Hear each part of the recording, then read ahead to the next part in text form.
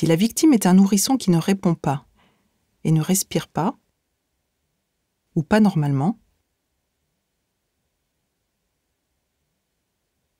le SST déclenche l'alerte des secours, demande un défibrillateur et réalise immédiatement une réanimation cardio-pulmonaire qui débute par 30 compressions thoraciques réalisées avec deux doigts.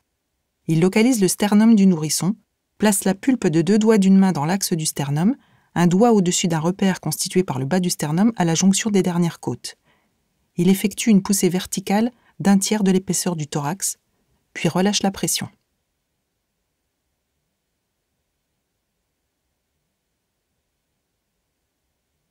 Il réalise ensuite deux insufflations. Il maintient la tête du nourrisson en position neutre, menton élevé, englobe avec sa bouche à la fois la bouche et le nez du nourrisson et souffle progressivement jusqu'à ce que la poitrine de la victime commence à se soulever. Il alterne le cycle 30 compressions puis deux insufflations jusqu'à l'arrivée du défibrillateur.